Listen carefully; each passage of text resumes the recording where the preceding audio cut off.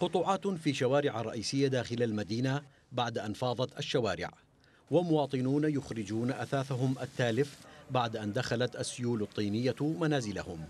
هي مشاهد تتكرر للمرة الثالثة خلال فصل الشتاء.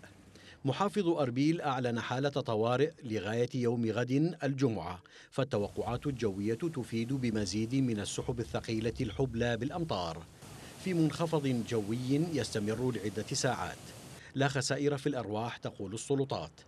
الفرق الحكومية مستنفرة لسحب المياه وفتح الطرق وتصليح الأضرار التي أصابت شبكة الضغط العالي للكهرباء.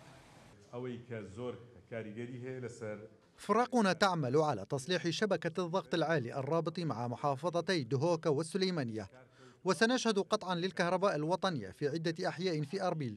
وبناء على التوقعات فإن هطول الأمطار سوف يستمر لغاية يوم غد بوتيرة أكبر. لذلك قررنا إدخال كل الفرق والمؤسسات الخدمية والأمن والشرطة وفرق الإنقاذ في حال الطوارئ. وفي ظل ضعف إجراءات مواجهة السيول الطينية وتكرار مداهمتها لمنازلهم مواطنون يعبرون عن خيبة أملهم تجاه تكرار الحالة.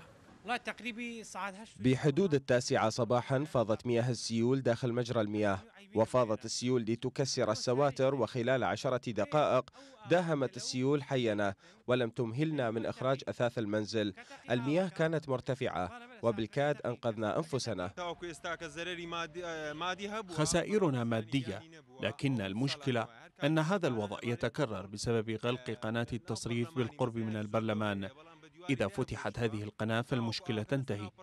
لكن لا أحد يستطيع مفاتحة البرلمان ويلتفت لمصلحة المواطنين.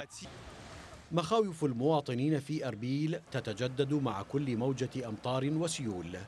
في حين تعاني المدينة من غلق ممرات المياه الطبيعية بعد أن ملئت أو ردمت من أجل بناء مجمعات سكنية فيما تنقص المدينة البنى التحتية لمواجهة الفيضانات. الإجراءات التي اتخذتها سلطات محافظة أربيل من فتح قنوات التصريف وحفر ممرات مائية وبناء سواتر لم تسعف المدينة. فالأمطار جاءت من حيث لم تحتسب لتغرق عدة أحياء وشوارع داخل المدينة بسيول الأمطار التي هطلت على حين غرة. أيوب رضا الحرة أربيل.